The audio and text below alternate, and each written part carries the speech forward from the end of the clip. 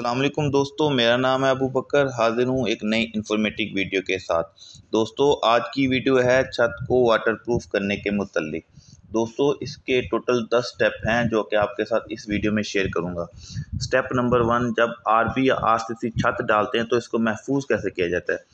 सबसे पहले छत को अच्छी तरह से साफ़ कर लें ताकि छत पर मौजूद कचरा, ईंटों का कचरा वगैरह बिल्कुल साफ़ होना चाहिए। और दोस्तों स्टेप नंबर टू फिर स्टेप नंबर टू में पोलीथीन शीट का प्रोसेस होता है। पोलीथीन शीट से पहले कुछ लोग लुक भी लगाते हैं। लुक को लगाने का प्रोसेस इसलिए इस्तेमाल किया जाता है ताकि छत में मौजूद मसाम को भरा जा सके और लुक को लगाकर पॉलीथीन शीट को बिठाया जा सके।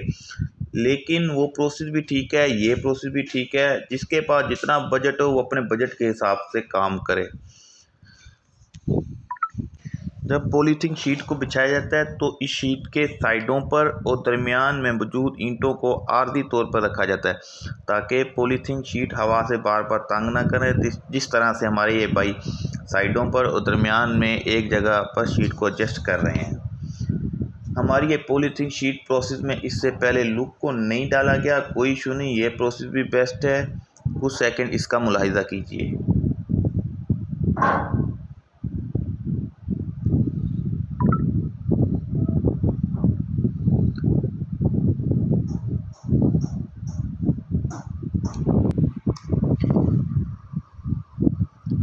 और स्टेप नंबर थ्री बहुत ही इम्पोर्टेंट स्टेप है। जब पॉलीथीन शीट बैठ जाती है तो इसके ऊपर मिट्टी का प्रोसेस होता है। जो मिट्टी हम पॉलीथीन शीट के ऊपर डालें, वो मिट्टी ठंडी मिट्टी होनी चाहिए। इस ठंडी मिट्टी का नाम घसर मिट्टी भी हो, ताकि वो मिट्टी छत को ठंडा रखे और सूरज की तपश से बचाए। अगर कोई कहे कि इसमें हम पक्की मिट्टी या कचरे वाली मिट्टी भी एडजस्ट हो सकती है तो ये हर किस प्रोसेस का इस्तेमाल ना कीजिएगा। मिट्टी के अंदर मौजूद सख्त रोड़े नहीं होने चाहिए। मिट्टी को बोरों में डालकर थोड़े थोड़े फासले पर डाला जाए। और दोस्तों, जो घसर मिट्टी हम डाल रहे हैं, इसमें मौजूद रोड़े रेत की मानद हैं। जैसा कि अब जहाँ पे पानी निकालना है, वहाँ पे मिट्टी कम डाली जाए ताकि अगले प्रोसेस में मिट्टी को जगह जगह एडजस्ट किया जाए। अब आपने रोडों की बात की होगी, ये देखें, अब मैं इसके ऊपर पाँव रख के दिखाता हूँ। ये बहुत ही नरम रोड है, आराम से रेत की तरह रेजा रेजा हो गया है, ये देखें।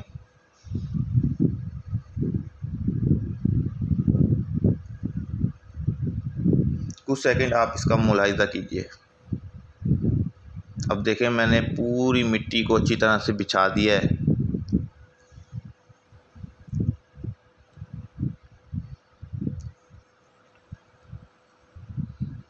और स्टेप नंबर फोर की बारी आ गई। बहुत ही अहम स्टेप है। सबसे पहले जो टाइल लगाएँ तो बॉर्डर से शुरू करें। वाटर लेवल की मदद से लेवल करें। अक्सर लोग मार्बल भी लगाते हैं। हम रेड टाइल लगा रहे हैं। डोरी बाँध कर इसको लेवल करके सारे बॉर्डर को कंप्लीट करें। सबसे अहम बात, जहाँ पर पानी निकालना है मतलब स्लोप देनी है। वहाँ पर लेवल करके स्लोप दें। ये ना हो कि पानी छत पर खड़ा रहे। पानी की स्लोप ढलान इतनी ज़्यादा ना हो कि बॉर्डर पर सात, आठ आठ इंच मिट्टी डालें। ये प्रोसेस गलत होता है। ज़्यादा से ज़्यादा चार इंच बॉर्डर पर डालें। ढलान ज़्यादा देंगे तो ऐसे लगेगा जैसे छाती टेढ़ी हो। जैसे एक इंसान साइड पे गिर रहा होता है। इस चीज़ का खसूसी ख्याल रखें। ये देखें, अब मैंने बॉर्डर पे सीधा डोरी की मदद से जहाँ पर पानी की स्लोप देनी है, उस तरफ़ से ढलान देनी है। अब दूसरे बॉर्डर की तरफ़ चलते हैं दोस्तों। यहाँ पर वाटर लेवल की मदद से लेवल करके ये देखिए, यहाँ पे अब मिट्टी कम डाली है, क्योंकि यहाँ पे, जहाँ पे स्लोप देनी है, जहाँ पे हमारे पन्नाले का पाइप कम होना है। ये देखो, अब बॉर्डर आल टू कंप्लीट हो गए हैं।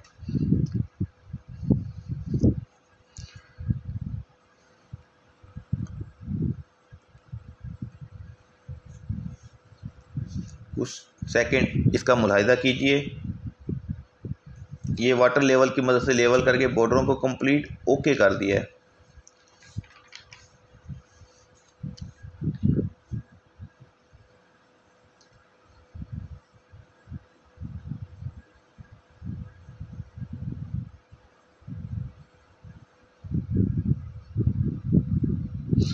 और दोस्तों स्टेप नंबर पाँच, जब बॉर्डर का लेवल कर दिया जाता है तो उसके दरमियान में मौजूद मिट्टी को लेवल किया जाता है और मिट्टी के ऊपर मौजूद सीमट और रेत के मिसाले को बिछाया जाता है। मिसाले की रेशो एक पाँच होनी चाहिए। मीन्स के एक तगारी सीमट और चार तगारी रेत होनी चाहिए। और मिसाले को फट्टी की मदद से लेवल करें तो एक मुकम्मल बेड बन जाता है। जैसा कि हमारे भाई फट्टी की मदद से लेवल कर रहे हैं। चारों तरफ़ से बॉर्डर में मौजूद एक बेड बन जाता है। और दोस्तों, इसी के साथ हमारे पाँच स्टेप कंप्लीट हो जाते हैं। कुछ सेकंड इसका मुलाहिजा कीजिए।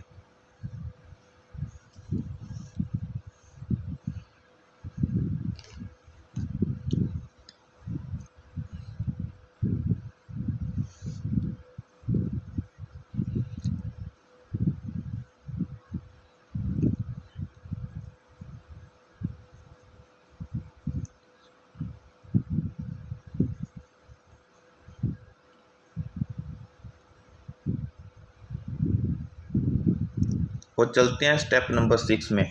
बॉर्डर के दरमियान में टाइल लगाने का प्रोसेस क्या होता है? इस प्रोसेस में टाइल को इस तरीके से लगाएँ, सीधी टाइल को हरगिज़ भी मत लगाइएगा। इस चीज़ का खसूसी ख्याल करें कि टाइलों को लगाते वक्त इतना ज़्यादा खला ना हो और टाइल को लगाते वक्त आप टाइलों के ऊपर अपने हाथ से एडजस्ट करें। कोई टाइल एडजस्ट ना हो रही हो तो तेज़ी या टाइल की मदद से इसको बेड पर बिठाएँ। और दोस्तों, टाइल को लगाने का प्रोसेस मुलाहिदा कीजिए। और इसी के साथ हमारे स्टेप छः कंप्लीट हो जाते हैं।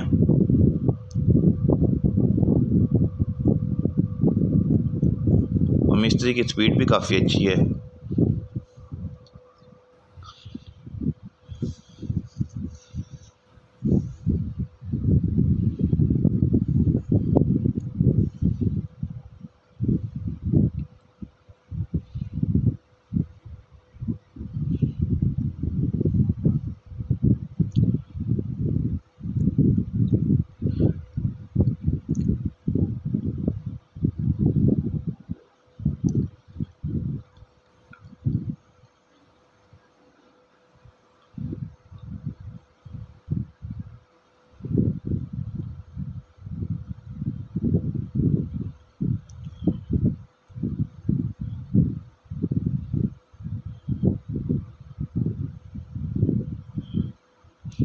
और स्टेप नंबर सेवन दोस्तों, इस स्टेप में टाइलों के ऊपर पानी का छिड़काव बहुत अच्छे तरीके से किया जाए। लेकिन इस चीज़ का भी खसूस क्या रखा जाए कि पानी, पाइप को एक जगह से दूसरी जगह छिड़काव करते वक्त ये ना हो कि एक ही जगह पर पाइप को रखा जाए। तो मिट्टी जो होती है, इसके नीचे बैठ जाती है और ये ना हो कि कोई टाइल बैठ जाए। लेकिन पानी को भी अच्छे तरीके से छिड़काव करें। और इसी के साथ स्टेप नंबर एट में चलते हैं। इस स्टेप में एक तगारी सिमट और तीन तगारी रेत को डाला जाता है। अक्सर लोग अक्सर लोग इसमें चिप्स का पाउडर भी डालते हैं, लेकिन वो भी ठीक है, ये भी ठीक है, इसका पेस्ट बना दिया जाता है। और काफ़ी लोग लेकिन इस प्रोसेस को इसलिए इस्तेमाल किया जाता है कि टाइल को एक जगह पर जमा दें और टाइलों की साइड में भी इस पेस्ट की वजह से भर दें। इस चीज़ का खसूस ख्याल रखें। इस प्रोसेस को भी मुलाहिजा कीजिए।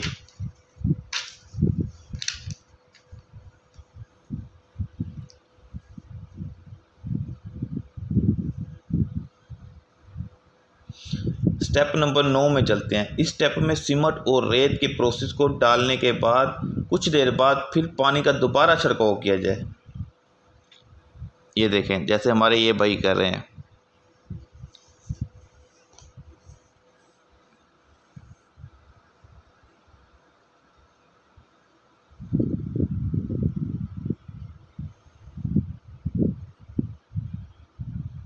और स्टेप नंबर दस लास्ट स्टेप इस प्रोसेस में बोरी को इसके ऊपर फैला जाता है, जो कि ये प्रोसेस मुलायजा कीजिए।